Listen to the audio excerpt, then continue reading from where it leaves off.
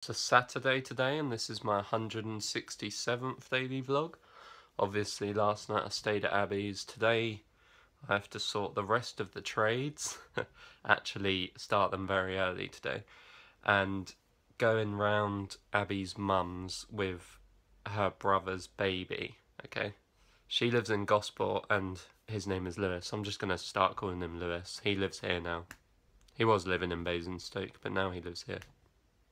I find Basingstoke shit anyway. Not much to do there. To be honest, Gosport's shit as well. Not much to do there. Eating cake for breakfast that Abby's neighbour made for her dad's birthday. Abby's setting up this baby shower thing for one of her friends. I'll be doing trades while she does that. While she goes to that. I swear people were saying it was a nice day today. How many sweets do you think is in this? I will say tomorrow. So tomorrow's vlog. Come to my sister's, look at this cat. There's two, but the other one's ran off. What do I do with these then? Yo. Just like- I just need it. Oh, it's just like there, I can feel it. It's like mint. Oh, it's normally there. I don't know what it is. I don't know. Is it heartburn? I don't know. Do you It must do? be. It's probably like a drug because it's like liquid mint. Money. And he gets a golden hello as well, so by the time Ed gets here, we'll be alright. Took him to the vets the other day, just for a checkup, and he is a bit, little bit He overweight. certainly has the confidence and the slightly older person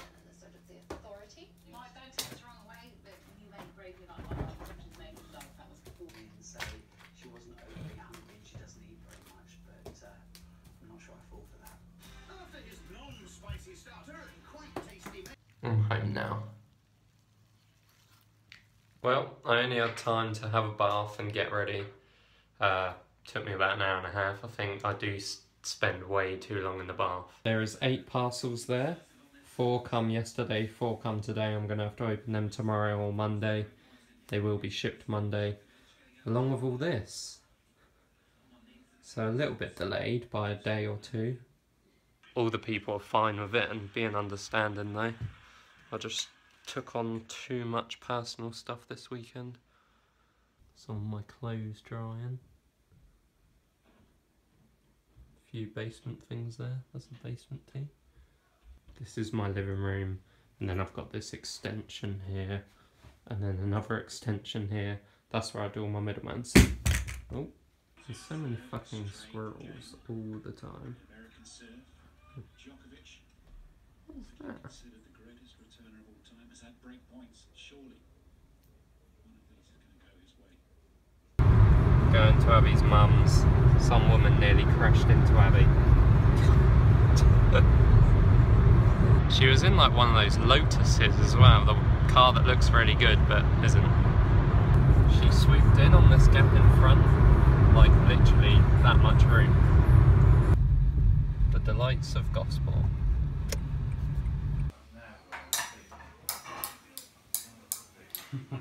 No. Eating a roast for dinner. Good girl. That's a cheese sauce. Eating this salted caramel steamed pudding thing. With Asda, that's your Going home. How can I help you out? Lemon zest and juice, pour it into jars, chill it up, store it off, do something up there. No, it's really tricky. Watching this. Pippa was like literally out all day, so I couldn't vlog her. Don't understand because the weather was shit at times as well. Really worn out from walking up the stairs. My leg is improving though. I'll do some video of it soon. Today I wore this fucking awesome hoodie in 3M material. Looks so good like this. And this Supreme tee, KRS1, says by all means necessary. It's got this print on the back, and then the rest of my outfit was just the same as every other fucking day.